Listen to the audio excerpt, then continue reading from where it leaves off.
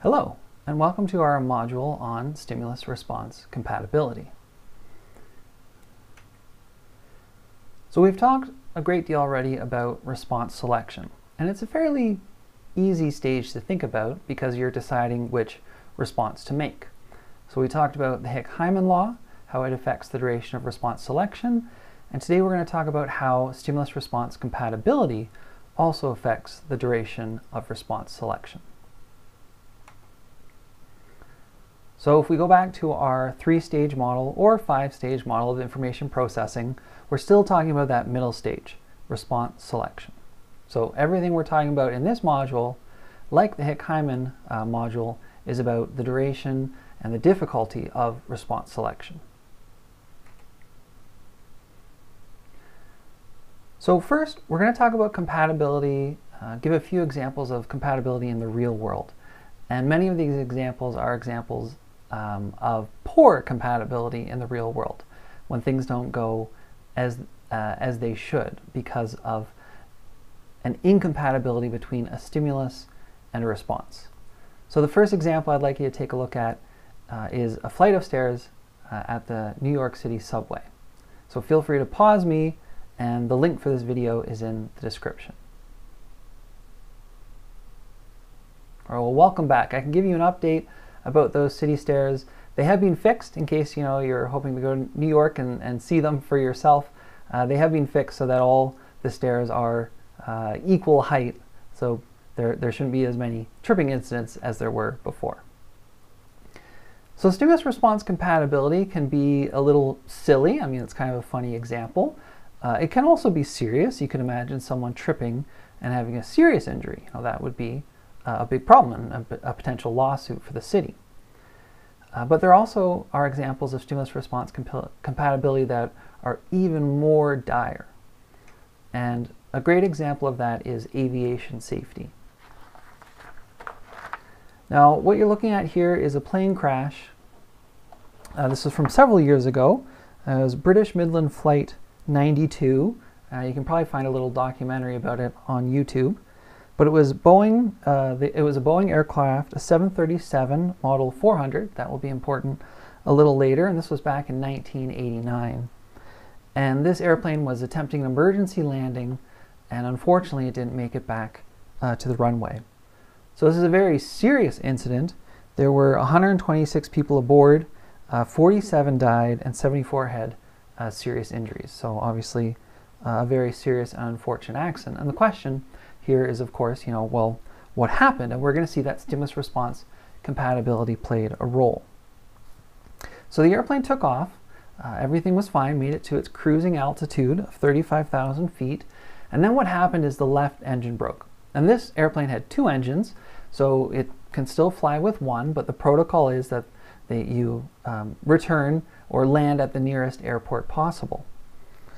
So when the left engine broke, it began to vibrate uh, and smoke came out. So it's very obvious that something was wrong.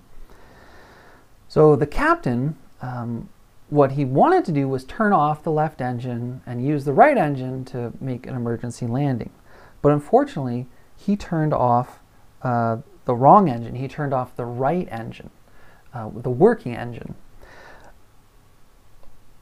Paradoxically here though, when he did that, the vibrations and the smoke stopped. So he got feedback that he had turned off the proper engine when in fact he hadn't.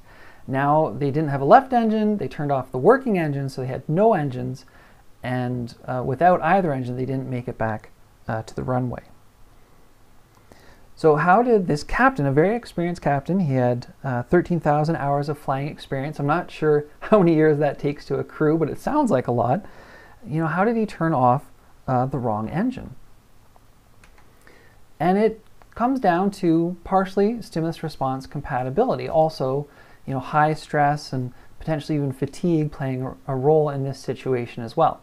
So here's a view of uh, that cockpit from the 737-400, at least, you know, at that uh, time, this is what the cockpit looked like.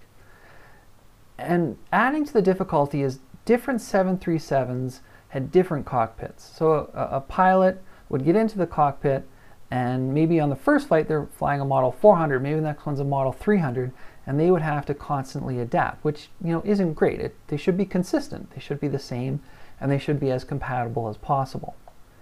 So what the captain was looking for here is these two dials showed whether there's a problem with the left engine or the right engine. So if there's a problem with the left engine, then if you want to turn off the left engine, you would pull this lever. And if there's a problem with the right engine, then you would pull this lever. Seems easy enough, but in the high stress situation, what happened is the pilot saw a problem with the left engine and just kind of went straight back to maybe what the most compatible lever is to this stimulus, you know, it's the closest one, pulled that, turned off the wrong engine, got feedback that it fixed the problem, but then of course they're flying without two engines.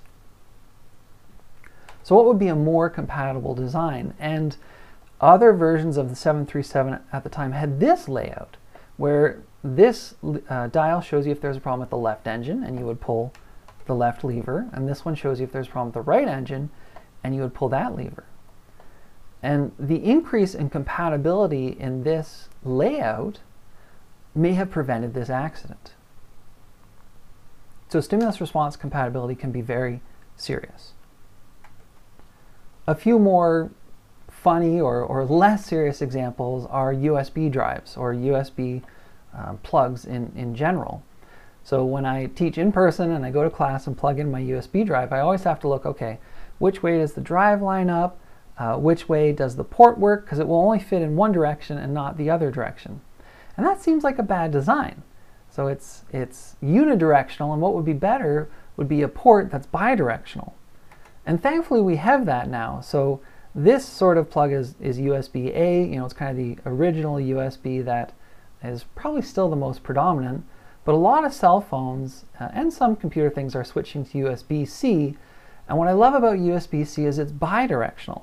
You know, you can plug it in this way or that way, it just works, and that's a much better design. You know, am I gonna, you know, lose my life or if, if, uh, if I don't get the drive plugged in the first time? No. You know, is class gonna be canceled? No, you know, maybe just waste a second or two. Uh, but still, this, this USB-C is, because it's bidirectional, is a more compatible design than, than USB-A. So I, I, hope we'll see uh, fewer USB-A devices as, as we move forward. Another kind of funny one is the QWERTY keyboard. And I don't know if you've thought about this before, but you might wonder, why are the keys arranged as they are on a standard QWERTY keyboard? And it's named as such because the keys in the top left uh, spell out QWERTY. So you might think that those keys are arranged to be the most compatible so that we can type as fast as possible. That would make sense, but it's not actually why they're in that order. Now the history isn't completely clear, but the most common story is that originally um, we didn't design keyboards, we designed typewriters, and they were they were manual typewriters at first. You may have seen electronic typewriter. You have to go back further when uh, typewriters uh, were manual. You know, they didn't they didn't plug in, they didn't have batteries. And what would happen is you'd press a key, and an arm would come up, uh, a mechanical you know lever would come up, and it would hit the ink ribbon, and that would leave the impression of the letter on your paper. So it was a mechanical uh, process. And what they found is as uh, people learned how to use um, a typewriter, because of course, you know, when these are invented, everyone was very slow at them, but some people, like typists who use them several hours a day, got quite good at them. And the problem is, as they got faster, if you would press two keys in quick unison, one arm would come up, the other arm would come up, and they would jam together. And then you, know you had to get your finger in there, you get ink on it, you probably messed up what you're typing, so maybe you have to start over. It was a problem. So the engineer said, okay, well, how can we solve this? They said, well, the problem is that people are typing too fast. What if they can't type as fast? it's kind of a, a funny solution, but it is one solution. So they said, okay, let's arrange the keys in a very inconvenient way so that you can't type very fast. And that is how QWERTY came to be. So if we look at the QWERTY layout, 32% of your typing is in the home row. And ideally, you would do most of your typing in the home row because you don't have to move your fingers as far. Also with QWERTY, you type a little bit more with your left hand than your right hand, which is slower for the majority of the population that are right-hand dominant. So QWERTY has just survived to this day, even though it's no longer an issue. You know, we don't use mechanical keyboards, and you know, digital keyboards. I don't really think you can you know type too fast for them. At least humans can't type too fast for them. So, do we have a better keyboard layout? Yes, and there's actually people who still research this. But one fairly common one is Dvorak. And in, in Windows, you can actually, and probably all operating systems, you can change and say, hey, I've got a Dvorak keyboard and you can use this layout. And it has shown uh, to be more efficient. So notice that most of the typing is in the home row, and you can see the most common letter in the English language is E, and there it is uh, in, in the home row. Little surprised it's not with the right hand, uh, but there it is with the left hand. Down here in QWERTY, you can see that E was left hand, bad, and outside of the home row, bad, so that's going to slow you down. And with Dvorak, a little uh, higher probability of your typing is with your right, usually dominant hand for most individuals compared to your left. So with Dvorak, you know, you can type faster. So why haven't we switched to this? Well, they've done some calculations and they've, they've realized that if, let's say, 2023, we say everyone is going to switch to Dvorak, well, everyone would be really slow, right? Because we're all used to QWERTY. So that would hurt productivity. And then eventually we get faster and faster until we reach our QWERTY speeds, and then we get even faster, so we'd be more productive. But what they've estimated is the, the cost to switching um, would be larger than the benefits provided by Dvorak. So that's the economical reason we all haven't switched to Dvorak. If we're going to do this at some point, uh, what, what I think they should do is just say, okay, starting in 2023, everyone born that year will start using Dvorak uh, devices. And then QWERTY will eventually die out as all of us uh, die. Now, the weird thing there is there'd be a few years where, uh, say, you know, your child wouldn't be able to use the same laptop as you because, you know, you're used to QWERTY and they're used to Dvorak. But maybe one day uh, we'll, we'll, we'll make that switch. Another example, and these can be uh, important for safety reasons, are street signs. I used to show this example when I taught at another university, and I thought, you know, this is a crazy street sign. It, it's probably, you know, don't really exist in, in very many places. And then I moved to Lubbock, and sure enough, around the loop, you see a lot of street signs like this. So think about this situation. You've got, I think it's two lanes of traffic coming in, and you're going to split into five lanes not a long distance, and you're traveling at a fairly high speed. I think the speed limit in, in most parts of the, the loop, side road or service road, not sure the exact terminology, uh, is, is 50 uh, miles per hour.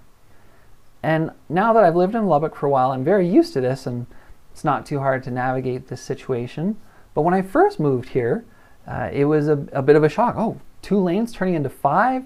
What's going on? If I want to turn left, well, I could choose two lanes, and then I had never actually seen turnaround lanes before. They're not very common uh, elsewhere. Uh, well, I've never seen them in Canada, and students have told me before that these are referred to Texas turnarounds, so I'm not even sure how common they are uh, in, in, other states. And I remember coming to this intersection the first time, and I'm like, what is this? Like, uh, you just do a U-ey? And now I think they're very convenient, but you know, these signs to the uninitiated um, take a long time to process, and that's not ideal in a fast traffic situation, especially if there's lots of other cars on the road. Now I have three other bonus examples of compatibility in the real world, and I won't go through these, but if you want to look at any or all of these, there's a few slides uh, and, and videos dedicated to each. So the first are poorly designed doors, which I'm sure you've come across in your life before also called Norman doors. The second one is the 2000 presidential election. And if you thought the 2020 presidential election was controversial, well, the 2000 presidential election was actually decided by the Supreme Court. So, you know, it was, it was quite uh, a contentious election. And number three, roundabouts. You know, love them or hate them, there's more appearing in Lubbock, uh, so you may find that interesting. So if you'd like to go through those, feel free to, to pause me now, but I'm going to jump ahead to after those three bonus examples, which you know, will not uh, be on the test.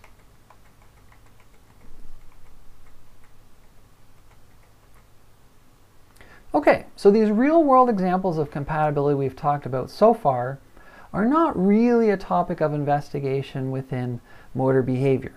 There is a, a field that specifically looks at these and it's called human factors um, or sometimes cognitive uh, ergonomics. And most universities have a, a department that focuses uh, on this area of research. At Texas Tech, it's part of psychological science and it's called human factor psychology I believe they have undergraduate courses and they definitely have graduate programs uh, as well. Um, so it's a very interesting area of science and, and, and maybe something you'd like to, to learn more about. But what we're going to transition to is more an investigation of stimulus response compatibility from a motor behavior and a cognitive psychology perspective. And I'll, I'll show you what, what I mean by that. So first of all, we've talked a lot about stimulus response compatibility. You know, how is it defined? There's a few different definitions. These are all fairly synonymous. So you could think of it as the degree of natural or learned correspondence between a stimulus and a response. And the learn part here is interesting because when we're born, there are some things that we automatically find compatible, like left going with left, right going with right. We'll see that example soon. Other things we learn through exposure, like in North America, that flicking a light switch up will turn a light on. That we actually learn. In the UK and Europe, in most places, uh, what's the association learned there is that flicking a light switch down will turn a light on. So if I went to Europe, you know, I would find that incompatible. Another example, degree to which the relationship between a stimulus and response is consistent with expectations. Or the third, maybe my, my favorite because it's the shortest, is the degree of naturalness between a stimulus and a response. So what happens when a stimulus and response are compatible? Well, reaction time is shorter or faster. That example is in bold because we're going to see that in, in several examples. Two, errors are decreased. We've already seen that in some of the, um, the, the airplane example. Three, learning is faster. And four, user satisfaction is higher. So imagine if you're involved in product design, you want to make your device compatible because uh, people are going to like to use it and it's going to be easy to use. So let's look at spatial compatibility, kind of the origins of it in terms of cognitive psychology. And some of this very foundational research came from uh, Paul Fitts. He looked at the compatibility in spatial arrangements and controls and displays or between stimuli uh, and responses. And this started out very fundamental in Paul Fitts's lab, but actually within a few years he started to apply this to the design of cockpits and aviation safety. Let me just look up my notes here on Paul Fitts. We'll actually see Paul Fitts twice in this course because he's fairly famous for his contributions to science. So Paul Fitts lived from 1912 to 1965, and there's actually a law named after him, Fitts Law, and we'll see that later on in the course. He was a lieutenant colonel in the U.S. Air Force, and he was one of the founders of this new area post-World War II called human factors engineering or cognitive ergonomics. So we'll look at some of his foundational uh, experiments, but then he went on to look a lot at aviation uh, safety. Before Paul Fitts's time, when something needed to be designed or engineered, so think about uh, an airplane, cockpit fairly complex, the engineers would design the cockpit layout in the easiest way to, to wire or to, to physically bring to life. And often that would be challenging for the human. The human, you know, the pilot would come in, you know, this weird display that maybe makes sense to the engineers and how everything connects, but it was challenging for uh, the human. And Paul Fitts' revelation was, well, what we should do is we should engineer it to work for the human. And yes, that's going to be a little more work and effort for the engineers and uh, you know how things are arranged. But then when the human comes in, it's going to be very intuitive, natural, or compatible. And that's very important uh, for, for safety, as we've seen. So here's a foundational experiment by Paul Fitts. And I think to us nowadays, I think we have a kind of a basic appreciation for stimulus response compatibility, even though you've maybe never thought of it in those terms. So this experiment might seem a little obvious, but at the time it was you know, foundational, uh, groundbreaking, and, and was iterated upon to eventually cause things like better cockpit uh, design. So in this experiment, a participant would come in and they would do nine different conditions. So these are two different conditions shown here. So in this condition, you're making a response in this star pattern, so it's this pattern here, and the stimuli that you see are in this, this circular or also a star pattern. So uh, we're, we're seeing a combination of this response and this stimulus, and here are the results for the experiment. So what would happen is you had a, a stylus, you know, think of a pencil, that you would hold in the middle, and what would happen is one of these lights would turn on, so let's say it was the top light, that's your go signal, and as quickly and accurately as possible, you would need to move your stylus to the matching position, to that top position. So it's a fairly straightforward reaction time task. What they looked at is what the average reaction time was. So in this sort of setup, the average reaction time was 390 milliseconds, and how many mistakes were made. So light turned on and you went to the wrong location. And participants were told to try to be very fast, and that's why there were some mistakes. You know, if you really take your time, you'd probably make no mistakes. So if we look at uh, this stimulus pattern, so you've got these stimuli, you could do circular responses, you could do this square response pattern, that's a little odd. So if the top light turned on, you would move here. If this light uh, turned on, you'd have to move to the corner, and you could either go this way and then that way, or that way and this way. Or uh, you here's the stimulus, same stimulus, but now you've got this bimanual response pattern actually shown down here, where you've got two styli, and if the top turns on, you'd move your right hand forward. If top right turned on, you'd have to move this hand up and this hand to the right. So if we look at you know this this top row here, then the fastest or shortest reaction times were shown for this stimuli and this response. And notice that they're both circular. So if the stimulus and the response match, you have the shortest reaction time and you make the fewest errors. Now let's look at this second row here. So what if we have the kind of this, this uh, you know, square or diamond shape? Well, with these stimuli, what was best is if you have this square or diamond shaped response grid. So see here that the best performance was when Again, the stimuli and the response matched. They had the same pattern to the two of them. Now, what about if you have stimulus that are kind of you know horizontal and vertical? Now that's different, and you're going to be fastest when you have an equally matching or equally odd uh, response, where you're using two two hands, you know, one horizontal and one vertical. So you can see with these stimuli, the best type of response uh, was the one that matched the stimulus. So when the stimulus and response match, or when they're compatible, you have short reaction times and few errors. So the, the first two points we talked about for stimulus response compatibility. This is very simple, but we're going to build on this to learn more about how the brain works. Now, Fitts built on this to engineer you know, safer products, specifically airplanes. But we're going to focus more on what we can learn about how the brain and the mind works from these sorts of experiments.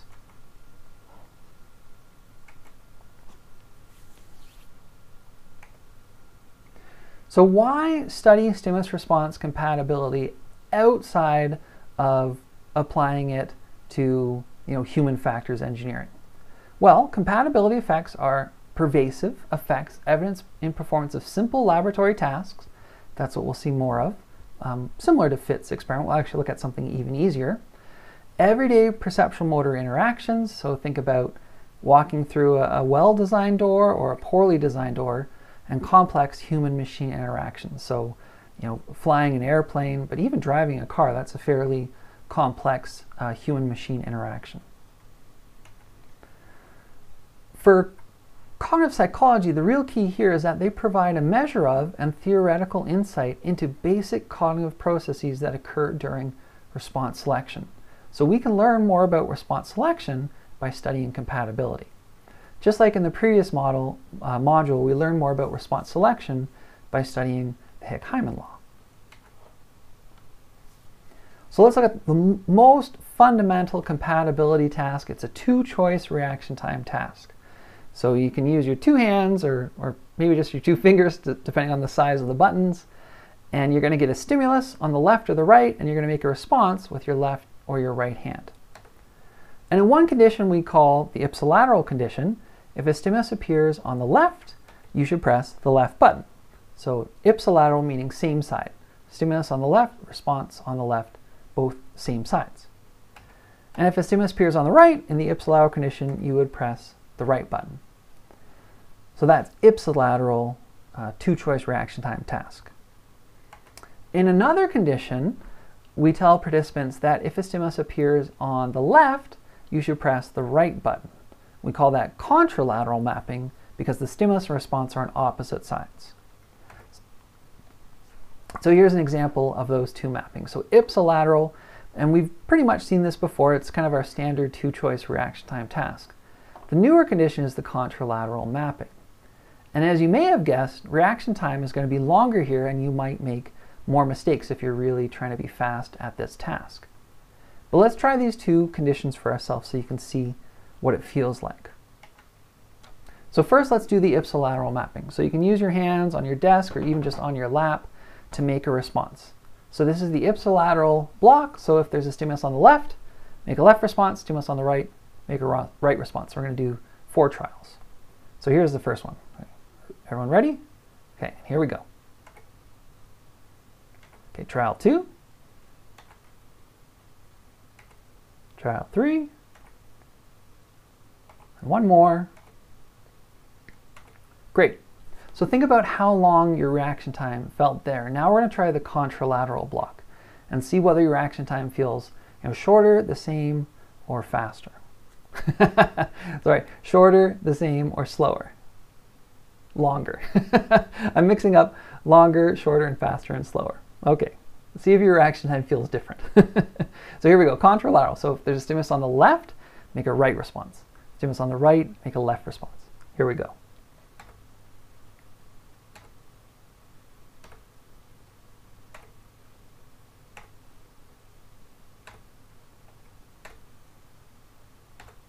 Okay, so did reaction time feel longer or slower in the contralateral or what we call incompatible condition?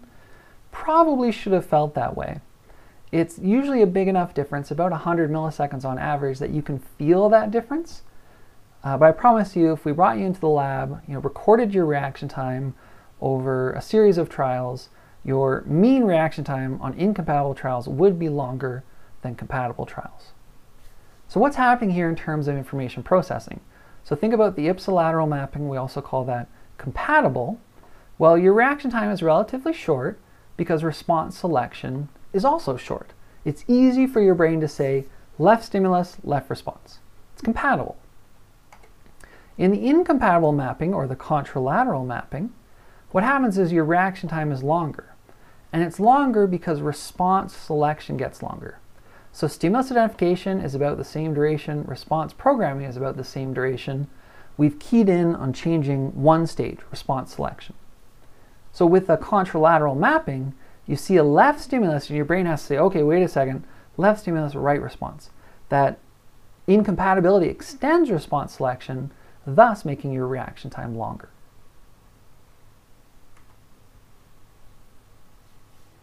So those are our two mappings, ipsilateral, contralateral. We can also think of this as being compatible and this one being incompatible.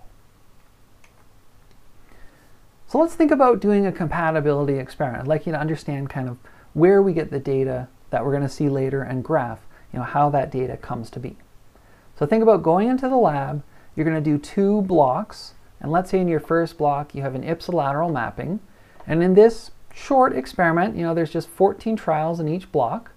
So you'll do 14 trials, and each trial it's randomized whether it's going to be uh, requiring a left response or a right response. And on those 14 trials, we'll measure your reaction time. You would then do a second block, a contralateral block, again with, in this example, 14 trials. So here's your ipsilateral block, and what we need to do is sort those trials. So seven of them was a, a, left stimulus and a left response, so I've, I've sorted those seven. And then the other, stim, the other seven required a right response to a right stimulus, so those are those seven. And then what we do is we calculate your mean reaction time in these two different conditions. So these seven values, the mean is 310 milliseconds. Over here, the mean is 307. We would also have data from your contralateral block. So it would be you know 14 trials. We'd sort them into left stimulus, right response, right stimulus, left response, and we calculate your means.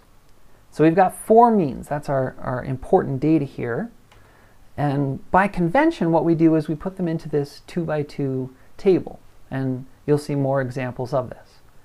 So here we have the stimulus position. Is it a left stimulus or a right stimulus? And then we have our response position. Did you make a left response or a right response? So if we look at these first two values here, note that these values are both from the ipsilateral or compatible condition. So uh, on, on a diagonal here. So this is a left stimulus, left response. So 310 coming from here. And down here we have a right stimulus, right response. So the compatible mean reaction times here are on uh, this diagonal. And on the other diagonal, we have your mean reaction times in the contralateral mapping or the incompatible mapping. So 386 goes there, 377 goes here. So it's a little bit odd kind of how the data goes into this table, uh, but you need to get used to it because we're going to be using this table over and over. We now have our data in a table, and what we'd like to do is graph our data. So we're going to create a graph. We'll put our dependent variable on the y-axis. This is convention. You put your dependent variable on the x-axis. Now, if you're confused over which one's the independent and dependent variable, well, the dependent variable depends on the participant's uh, reaction times. So we don't know it in advance. What's reaction time going to be? Well, it depends on the participant. So reaction time is our dependent variable. We actually have two independent variables, and one of them we're going to put here on the x-axis. So response position, are you making a left response or a right response? We have another independent variable, and that's the stimulus position. So to convey both of these, we're going to put stimulus position into a legend. Is it a left stimulus or a right stimulus? Now make sure you don't mix up the location of these. Although you could technically make that graph, uh, by convention it's not how it's done, and it would be contrary to everything we're going to look at. So response position on the x-axis, stimulus position in a legend. Okay, so we've got our data, and these are going to be four data points on this graph. So if we look at our first point here, 310, this is a left response, so we're going to have to plot it over here in this, on the left side. And it is a left stimulus, so we're going to want to plot a blue triangle. So at 310, right about here, we're going to put a blue triangle there. So there's our first data point. Okay, second data point, let's go with this one. So this is a left response. So again, we're going to focus on the left side. It's going to go somewhere here. It's a right stimulus, so it's going to be a red square. And we have to go up to 377. So right about here, and we plot that data point. So halfway done here. Next one, let's look at this data point. So it's a right response. So we're now onto the right side of the graph. It's a left stimulus, blue triangle, and it needs to go at 386, which is going to be about here. Oh, a little bit off, about here. And our last data point, still a right response. It is a right stimulus, so it should be a red square. And that's going to be at 307, which will be our lowest point around here. There we go. Now the last convention thing we do is we draw a line connecting the like stimuli together. So we're going to connect the two red squares with a line and the two blue squares with a line.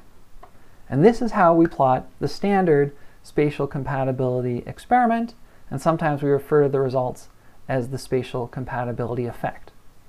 So notice that it kind of looks a bit like an X, and we're going to talk more about this.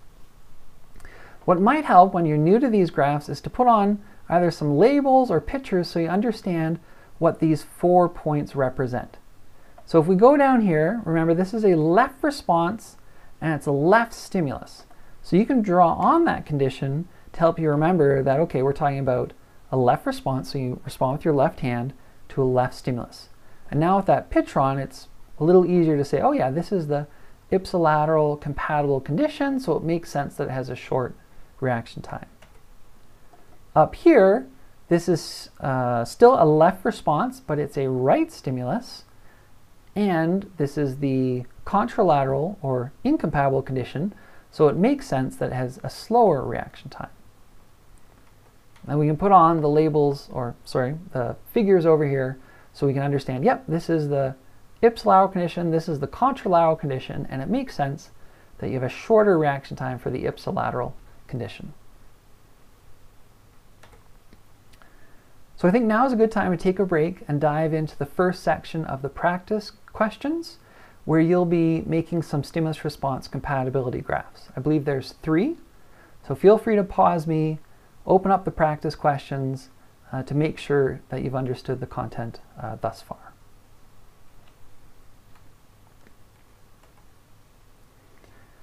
Okay, so carrying on, after we make these graphs, we have to ask an important question, we ask the same question twice. And the question is, is there a compatibility effect?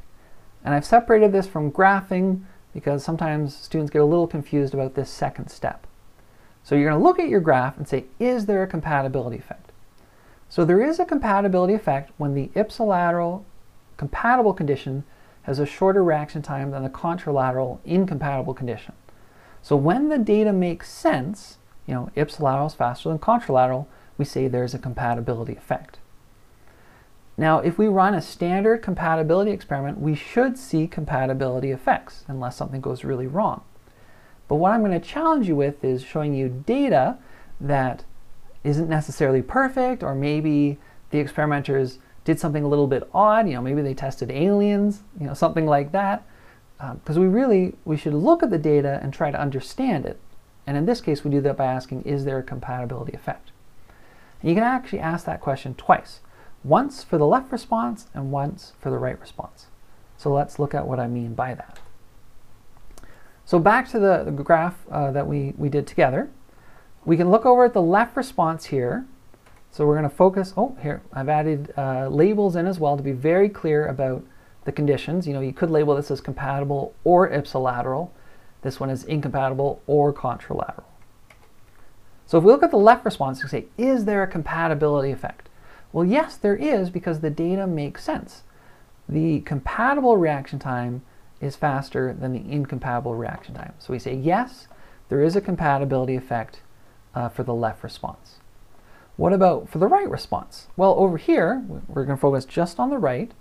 And here, reaction time, yes, it is shorter for the compatible or ipsilateral condition compared to the incompatible or contralateral condition. And this, is, this makes sense. That's what we expect.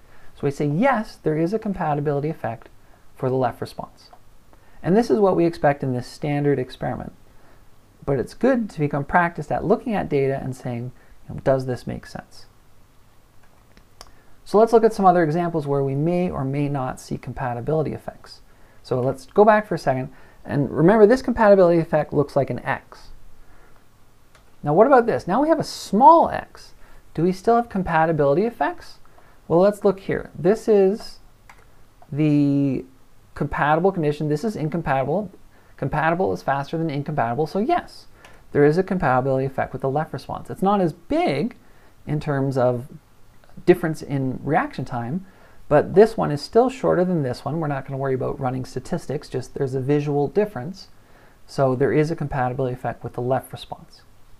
With the right response, yep, the compatible condition is faster than the incompatible condition. So yes, we see also a compatibility effect with the left response. So don't just look for an x because it could be a small x or a big x. You need to interpret that. What about a slanted x? I guess, let's see. I'm not sure how to make this compatible with what you're seeing.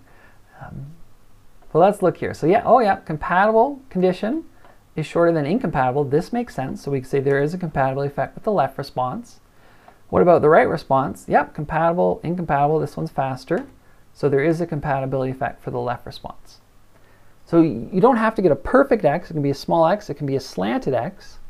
Why would this happen? Well, maybe, you probably wouldn't see this extreme difference for, say, someone who's right hand dominant, but maybe an individual had a stroke, it affected their left arm, uh, so their paretic arm is their left arm. They're very slow with it. Right arm is every, everything's faster. Uh, so you're slow with the left, fast with the right, but we still see two compatibility effects. Here we've gone away from the X pattern, so we're probably not going to see two compatibility effects. So if we look over here, incompatible is faster than compatible. That's weird. So we'd say no, there's not a compatibility effect for the left response. What about the right? Yes, compatible is faster than incompatible. So we'd say yes, there is a compatibility for the left response. So if you don't see an X, something might be off. Finally, here's an X. So you might say, oh yeah, compatibility effects. But this is actually an upside down X, if you will. So we say, okay, is there a compatibility effect over here at the left response? No, because incompatible is faster. What about for the right response? Is there a compatibility effect? No, because again, incompatible is faster. So don't just see an X and say, yep, two compatibility effects, because it could be an upside down X as in this example. So let's take another little break to do some practice questions where uh, in the previous practice questions you made three graphs and now what you'll do is you'll go and answer whether there are compatibility effects in those graphs.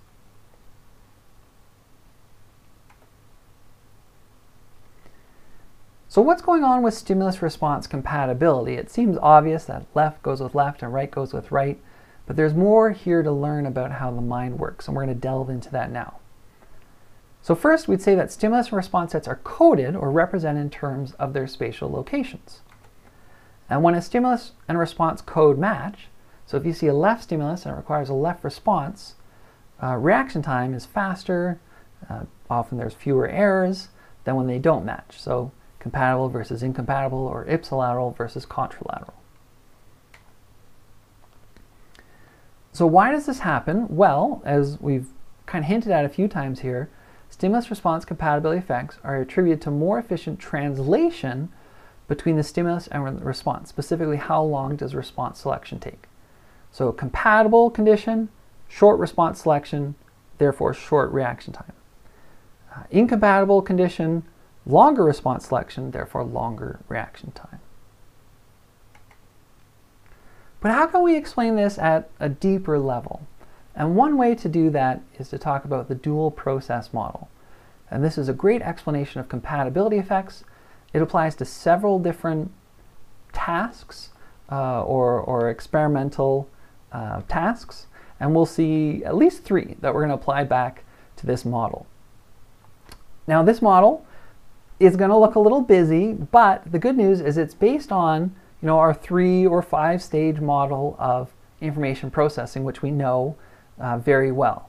Uh, we're going to see that there's kind of a split in processing, so there's parallel or, or dual routes of processing, but it's still really these three or five stages or substages of information processing. I'm going to show you the full model. We're going to uh, step through it. Uh, but I won't test you on the, on the model itself, but on your ability to apply the model. And I think that uh, is much easier than trying to remember, you know, where a dozen different boxes go in this model. So here's the model, and yes, it looks a little busy, but let's uh, go through it first uh, with a, an abstract example, and then we'll apply it to ipsilateral and contralateral mapping. So here, everything starts with encoding of the stimuli, and you can think of this as uh, stimulus detection. And the idea is that in the, the mind and the brain, from here there's two routes of parallel processing. So information before, information processing was this one process, and here we actually say it splits in two. Up here we have very automatic processing. And it says, okay, based on stimulus detection, uh, what response should we select? And it's going to select the most automatic or reflexive decision. And then it's going to say, I'm going to go ahead and program that response. Meanwhile, the intentional process says, hey, I'm going to spend a little more time in stimulus identification. You can think of this kind of like uh, stimulus detection followed by stimulus identification. I'm going to think a little more deeply about what I see. And then I'm going to think about the instructions of the task when I select a response. It's not necessarily going to be the most automatic or reflexive, it's going to be related to the task instructions. Now these two pathways converge and they say, hey, do we want to do the same thing? So does this pathway, the automatic pathway, want to do the same thing as the intentional pathway? If they both want to do the same thing, great, let's go ahead and do it. we're going to initiate the response that was programmed by the automatic process. And because this doesn't take very many steps, we'll have a short reaction time. Now, what if they don't want to do the same thing? If they have a difference of opinion, we have to pick which process do we want to go with. And the brain or the mind decides, well, I'm going to go with the intentional process because it thought more deeply about the instructions. It just didn't say what's the most automatic. So we're going to go with what the intentional process wants to do, but the first thing we need to do is the automatic process already programmed its response. So we need to abort that response. We don't want to do it. Then we need to program the response that the intentional process wants to do, and then we can initiate that. So compared to uh, when the two pathways want to do the same thing, there's two extra stages, and that's going to increase reaction time. So a little bit complicated, right? Well, let's apply it to ipsilateral and contralateral mappings, and I think it will, will seem more straightforward. So here's the situation. Uh, you, you're given an ipsilateral mapping, so you're told, for example, if there's a left stimulus, you make a left response. So the, this stimuli appears, and the brain says, oh, yep, there's a stimulus on the left. Now the automatic process says, ooh, something's on the left. I want to make a left response because that's compatible. That's automatic. That's reflexive. So it selects left and programs left. The intentional pathway says, oh yeah, there's something on the left. Now what was I told? I was told if there's something on the left, make a left response. So I'll select left as well. These two pathways come together and say, hey, we both want to do left. Great, go ahead and do it. So we initiate the response that had been programmed by the automatic pathway or process. Now what about when we give a participant um, contralateral mapping instructions? And let's say a stimulus appears on the left, well, they're told that they should make a right response. So the brain says, hey, I see something on the left. The automatic process says, something on the left? You know, I want to go left. So think of it as like a dog off a leash when a squirrel runs by, it just wants to chase it. so it says, okay, you know, I want to chase that squirrel. I want to press left because there's something on the left. So I'm going to program that response. The intentional pathway says, oh, wait a second, what are the instructions? When there's something on the left, I should press right. I need to make a contralateral response. So I'm going to select right. They come together and say, oh, we want to do different things. Well, let's trust the pathway or process that thought more deeply about the task. So we're going to have to abort the response programmed by the automatic process. We can then program the response selected by the intentional process. And then once it's programmed, we can initiate it. So we've got these two extra stages, so we're going to have a long reaction time. So when applying the dual process model, you can think about it kind of at this level. You don't have to remember you know, every box in that model. So the ipsilateral mapping, you can think about, okay, well, what is the automatic response when something's on the left? Well, it'd be to press left. What's the intentional response? It's also left. So the automatic response, the intentional response is left. And because those match, you're going to have a short reaction time. In the contralateral mapping, as we just saw, the automatic response is left, but the intentional response is right. Those don't match, so the brain has to do some extra work to overcome that discrepancy. We need to kind of inhibit the automatic path and excite the intentional path, and that will cause a long reaction time. So this is kind of the level that you need to understand the dual process model. Let me show you another example of this, and you've probably seen this task before. It's the Stroop task. It's a fair, fairly famous psychology task. And here, what you're asked to do is name the ink color of the words. In the compatible condition, you might see uh, the, the, the word black, and the ink color of that is also in black. So here you should say black. So let's try this. So on the next slide, we're going to see a bunch of colors, and you just you know read them as you would, you know, left to right and, and top to bottom, and say the, the, the colors aloud. And I'll, I'll try this too at the same time. Okay, you ready? So name the ink colors of the words. Blue, red, yellow, green, black, yellow, blue, red, green, black, red, blue, yellow, black, blue, green. It was easy, right? Doesn't take very long at all. And that's because this is compatible. We'll relate it to the dual process model after we try the incompatible condition. So in this, the stimuli are more difficult. So here, you know, the word says green, but the ink color is red. And remember, you're supposed to say the ink color, so here you should say red and not green. Okay, so let's try this again. It's going to be the same sort of stimuli. Okay, name the in color. I gotta, gotta motivate myself for this one. Green, blue, black, yellow, blue, red, black, green, red, blue, yellow, black, green, yellow, red, blue. Much harder. You know, it's night and day. It's obvious that this one is a lot harder. And we can explain this with the, the dual process model. So when the stimuli uh, is the word blue written in blue, the automatic response is actually to read the word. And we've learned to read and practice reading so much that when we see something, we automatically want uh, to read it. So the automatic response, you're reading the word, you want to say blue. In this condition, the ink color is also blue, so uh, this is compatible, or the automatic and the intentional processes want to do the same thing, so you're going to have a short reaction time. And that was like the first condition we tried, the compatible condition. Here's an example stimuli from the incompatible condition. So again, you automatically want to read it. So the automatic pathway, you know, wants to say blue, and the intentional pathway says, no, no, no, think about it. You're supposed to name the color of the ink, which is green. There's a conflict here, so you're going to have a long reaction time.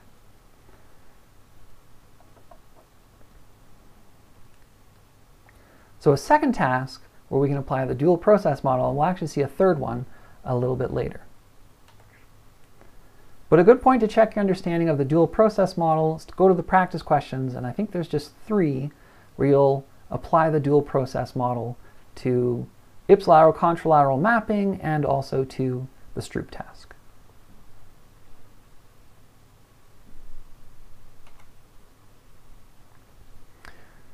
So, so far we've kind of accepted that the dual process model is correct, but there's actually an alternative hypothesis to explain compatibility effects, so ipsilateral being faster than contralateral, and that's neuroanatomical correspondence. And that really comes down to the way the brain uh, and body are wired, how the input comes into our brain, how the output goes out of our brain. So the first hypothesis is dual process model. We've seen this a few times. The idea is that spatial compatibility effects are caused by the automatic and intentional processes. So that's our, our first hypothesis. The alternative hypothesis is related to neuroanatomical correspondence, and we'll look at this uh, in more detail next. But it uh, predicts that spatial compatibility effects are caused by the anatomical congruence between the cerebral hemispheres processing the, the stimulus and the response. So to understand this, we need to look at neuroanatomy. And we'll come back actually to this neuroanatomy when we talk more about the visual system. But here we're going to kind of look at uh, the neuroanatomy in, in fairly broad strokes. So you probably already know that if you want to move, say, your right hand, that the motor command for that action originates in the left primary motor cortex.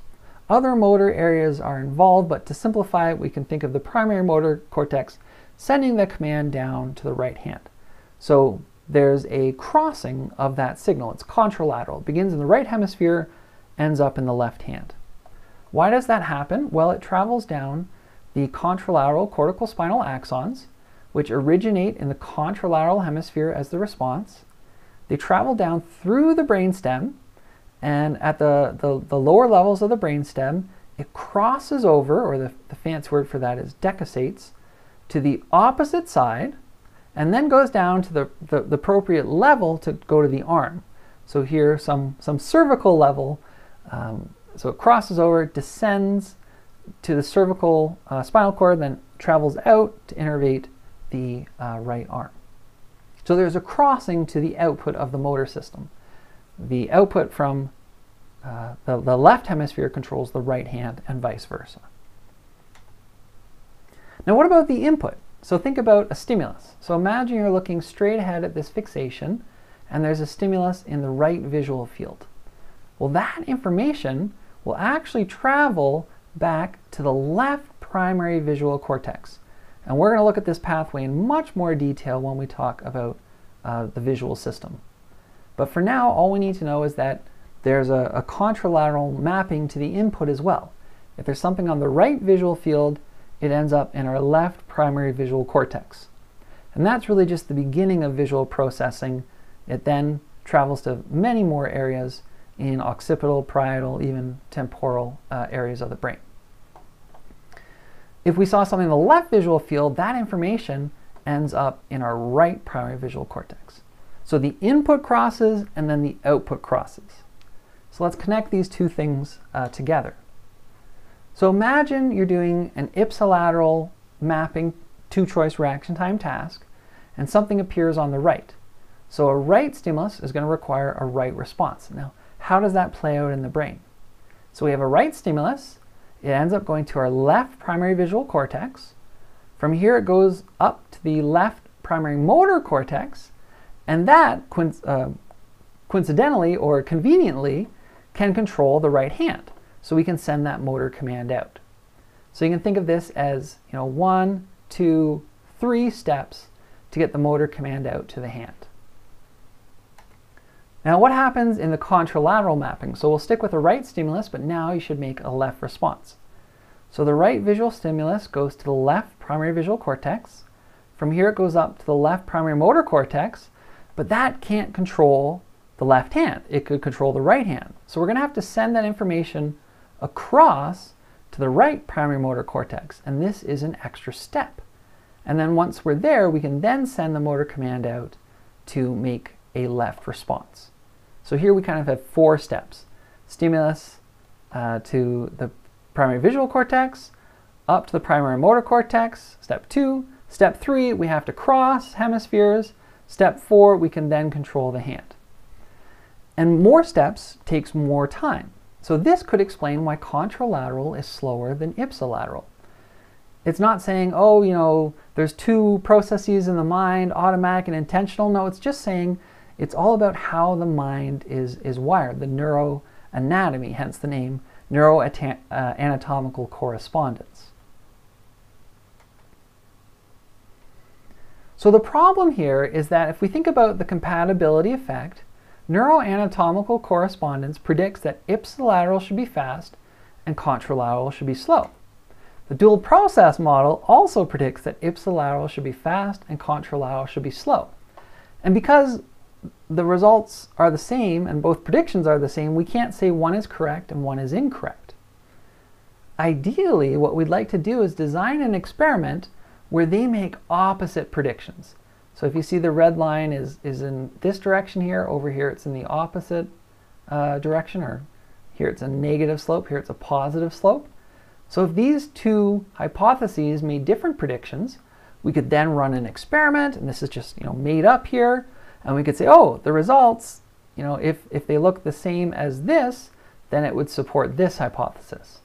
But if they look the same as this one, then it would support the other hypothesis. So we can't do that with the standard ipsilateral contralateral task because they predict the same results. But in a very genius cognitive psychology uh, like experiment, we're going to see this lots of times where we make a very simple change, almost seems like what's the big deal at all, the change is so small, and yet it makes a huge difference for our, our models of, of the mind. So what we do is we ask participants to cross their hands. So you're going to cross your hands and we'll give you an ipsilateral block. So now a left stimulus, you should make a left response, but note that is now done with your right hand. and in the contralateral mapping, in this example, so if you have a left stimulus, you make a right response, same as before, but that is now done with your left hand because your left hand is, your hands are crossed. So how does this change our predictions? Well, the dual process model basically says, I don't care, you know, if your hands are crossed or double crossed, left goes with left, right goes with right. So in the ipsilateral block, you should be fast, and in the contralateral block, you should be slow. It says, I don't care what your hands have done. Now, neuroanatomical, it makes a big difference. If you think about crossing your hands, that changes the input-output relationship. So your hands are now crossed. You're doing the ipsilateral mapping. There's a stimulus on the right. It goes to the left primary visual cortex. From there, it goes to the left primary motor cortex. And here, we need to cross sides to go to the right primary motor cortex so that we can then send a signal out to the left hand. So now note that in the ipsilateral block, when your hands are crossed, it requires an extra step. So it says ipsilateral should be slow. In the contralateral mapping, neuro, uh, and the neuroanatomical correspondence hypothesis, that's a mouthful, says that or predicts that uh, you should have a, a, a short reaction time. You should be fast. So if we have a stimulus on the right, it goes to the left primary visual cortex. From here, it goes up to the left motor cortex. We want to control the right hand, so we're already in the right hemisphere. So we can go ahead and send that signal out to the hand. So one, two, three steps. We don't have that extra step, so you should be fast at this task. So by crossing the hands, we now have completely different predictions for these two hypotheses. So we can now run the experiment and see which result is supported and which one uh, is, is refuted. So here are the predictions. So um, dual process model says the data is going to look like this, you know, ipsilateral fast, contralateral slow. Neuroanatomy says, well, we expect the opposite, contralateral fast, ipsilateral slow. So notice the negative slope to the red line here and the positive slope to the red line here. So here are the actual results. So take a moment and look at these and determine whether these result, results support the dual process model or the neuroanatomical correspondence hypothesis. And hopefully what you've come to is that these results support the dual process model because these are the ipsilateral conditions, oops, uh, and they're fast and contralateral is slow. That's what the dual process model predicted. So we made separate predictions. Here are the actual results, and the actual results supported the dual process model. So in other words, the neuroanatomical correspondence hypothesis is incorrect. But you might be saying, well, how can that be? And I didn't lie about how visual stimuli comes into the brain and how um, the brain then controls the hands. Those crossings do occur. But what we see overall is the typical spatial compatibility effect, you know, when your arms are crossed, is about 100 milliseconds. So if we take contralateral reaction time, subtract ipsilateral reaction time, you know, ipsilateral uh, is, is shorter by about 100 milliseconds. And this 100 milliseconds is actually composed of two things. The first is that yes, there is a cost for information to cross from one hemisphere to the other. So we can think of this as the neuroanatomical cost. And here what you, you know, what you see is that when your hands are crossed, you're actually four seconds faster for contralateral, or, or negative four the way we're plotting it here. So yes, there is a cost to cross the hemisphere, but it's very small. It's only four milliseconds. And remember, compatibility effects are huge. They're 100 milliseconds. So this small cost in the opposite direction can't explain what's happening here. The majority of the cost, and if we want the numbers to add up perfectly here, you know, there's a 104 millisecond cost to the dual process model, to having to um, go through response selection uh, for a, a contralateral response when the arms are crossed.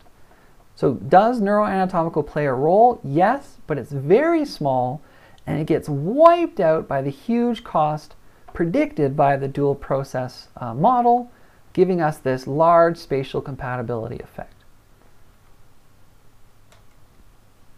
So we go back to our two hypotheses. The dual process model uh, is correct. Neuroanatomical correspondence, it's not completely false.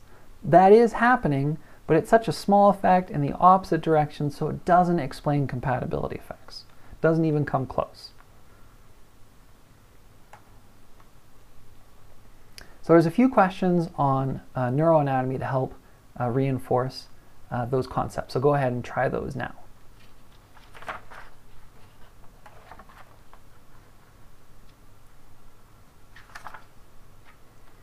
So let's look at another example of stimulus response compatibility, and this is the Simon effect. And here we're going to learn something about how our brain loves to code spatial location. So, so far, uh, the typical compatibility task, we've keep the arms uh, uncrossed to make it simple, has, has involved responding based on the stimulus location. So ipsilateral if it's on the left, press left. Contralateral if it's on the left, press right. But what's key is you need to decide is the stimulus on the left or the right. That's, that's vital to the task. Now what about if the task doesn't require anything, um, the, the instructions don't involve the stimulus location. That's irrelevant to the task. So here, in this reaction time task, you're actually going to respond to the stimulus feature. So not which side is it on, you know, left versus right, but what color is it? Is it blue or is it green? So in other words, the location of the stimulus is irrelevant. It still changes. Some trials the stimulus will be on the left, sometimes on the right, but it actually doesn't matter to the task. What you're told is that if it's blue, regardless if it's left or right, you should make a response with the blue key, which happens to be on the left. And if it's green, again, doesn't matter if green's on the left or the right, you should press the green button. The question here is, will the spatial location still influence your reaction times, even though it's irrelevant to the task? So if reaction time is influenced by spatial location, these trials might be you know, compatible. So here left goes with left, right goes with right. So maybe you'll have a shorter reaction time for these trials. And here in these trials, maybe these will be incompatible. You have slower reaction time because now a right stimulus is associated with a left response. So can your brain turn off uh, spatial information when it's irrelevant, like in this task called the Simon task? Uh, or is spatial location always influencing your responses? Why is this called the Simon task? Well, the task uh, was, was first designed and, and used by uh, you know, Professor J. Richard uh, Simon. Uh, so it be, was named you know, uh, likely posthumously after his death uh, in his, his honor. So what sort of predicted results do we have here? Well, let's say your brain turns off spatial coding in the Simon task because it's irrelevant to the task. In that case, it doesn't matter whether it's you know, ipsilateral or contralateral, reaction time should be identical for all four trials. So these you know, dots should really be right on top of each other, but I just separated them so they weren't you know, concealing each other. But if your brain still codes stimulus position, even though it's irrelevant to the task, we may see a typical compatibility effect, where you're faster in ipsilateral conditions than contralateral conditions. So let's try the Simon task uh, for ourselves. And here I've actually gone with, with blue and red because uh, in, in class the blue and green stimuli uh, didn't look very different on the projector. So what's going to happen is the stimulus will appear either on the left or the right. It will either be blue or red. When it's blue, you should press make a left response. When it's red, make a right response. So if the blue is here, left response. If the blue is here, left response. Spatial location is irrelevant. All right, here we go. And think about uh, the, the type of trial. Was it ipsilateral or contralateral? And did it uh, affect your reaction time? So we'll try eight trials here. All right, everyone ready? Here we go.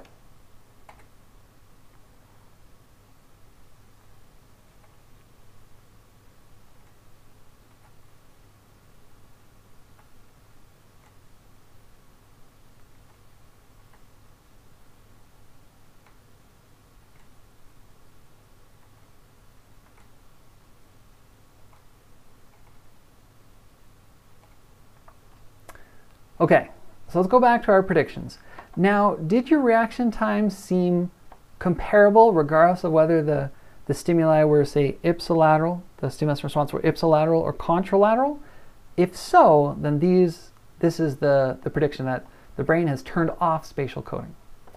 But if it felt easier to make responses when they happen to be ipsilateral than contralateral, the brain can't turn off spatial processing, then we would expect these results. Now the actual results, you may or may not have felt this uh, because it's a bit of a smaller reaction time difference, maybe 50 milliseconds. And this isn't a very well you know, controlled experiment you know, over the, the internet. But if we brought you into the lab and did this, averaged together data from several people, what we see is what we call a Simon effect. that the ipsilateral responses, when it happens to be ipsilateral, you have a shorter reaction time, and when the responses happen to be contralateral, you have a slower reaction time. What we're seeing here is the brain cannot turn off spatial coding. And it would actually be beneficial to turn off spatial coding. It would be best if you had the same reaction time you know, for, for blue, regardless of whether it's on the left or the right. But the brain loves spatial information. There's lots of different experiments that show this. And even when it doesn't matter, your brain is still classifying or coding things as left and right. And if it codes something as left, it's faster when then it can make a compatible left response than, say, a right response. So the dual process model, we can use it again here to explain these effects. So in this, what we now can think of uh, as a compatible task, a blue stimulus requires a blue response. So here automatically says, uh, the automatic process says, hey, there's something on the left, I want to make a left response. The intentional pathway says, well, hold on, think about the color. It's blue, the blue button's on the left, so I should press left. Because these responses match, we have a short reaction time. In an incompatible condition, the automatic pathway says, ooh, there's something on the left, I want to press left. The intentional pathway says, no, no, no, it's not about the side, we need to think about the color. It's green, the green button's over here on the right, so I should press right. These responses don't match, so we're going to see a long reaction time. So I really like the dual process model because it handles many different compatibility tasks. All right, finally, let's look at one kind of last fun slash controversial topic. So here we're seeing part of an art project called Our Kind of People by Bayeté Ross Smith. Might be pronouncing that first name wrong. But it examines perception based on appearance and deconstructs how clothing, race, gender, and class uh, signifiers affect our daily interactions and social systems. So the artist, you can actually contribute to this project. I'm not sure if it's ongoing or not, but it, um, he asked individuals to take a series of pictures of themselves wearing different outfits and then line them all up together and you can kind of think about um, how it's the same individual but what they're wearing affects your, your judgment of them. You know, you might see this individual and think, uh, oh, you know, if I ran into him in a dark alley, I wouldn't be afraid at all. Uh, but, you know, all of a sudden he's, you know, puts his hood up, uh, changes his clothes, and then you might be apprehensive about running into that person in the alley, even though it's, it's the same person. Now, how is this related to compatibility? Well, there's a task called the implicit association task that looks at this idea of, of bias or stereotypes. And it's controversial, although it's also very well known. The original uh, experiments came out of Harvard, so very you know, prestigious university, and it's still used. Um, so on the, the IAT website, if you'd like to try it for yourself, there's lots of um, conditions, some benign, but the ones that get the most press are the controversial ones, like looking at do you have a bias for race? So in other words, um, are you racist? You know, the idea is you can take this test and it will tell you whether you're racist, and that that's extrapolating the research too far. And sometimes that happens in the news. They say, hey, there's a test that will tell you if you're racist. If you read the actual research, it's, uh, it's usually much more careful about uh, extrapolating the findings to, to that level. And we'll, we'll look at how this works. Um, these are some of the tests they, they've had before, looking at weight. So um, do you have a, a preference for um, people who are obese or thin? Sexuality, implicit association tests, or presence? And this is the one we'll look at and and last I checked, it still was you know Trump versus Obama, which is you know getting a little older now. It should be probably updated to, to Trump versus uh, Biden. So these are all kind of you know hot topic, controversial uses of the IAT, but that's not the only way it could be used. We had a previous research here in sport management who used this sort of paradigm to look at preferences for snacks uh, at sporting events.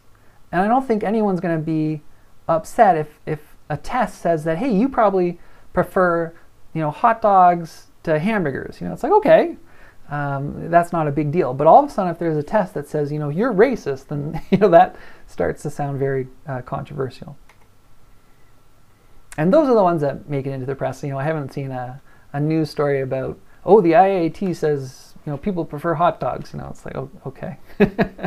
Although that's uh, potentially important for, for vendors and sporting events, you know, it's, it's not going to make, uh, you know, front page news. So here's the, the implicit association test for the, the Trump-Obama uh, condition. And, and, and what you're going to be doing is classifying pictures of, of Trump. So you'll see a picture of Trump and you'll have to make a left response or right response. So it's a two-choice reaction time task. And same thing with Obama. And in different tasks, there's different mappings. We'll look at those.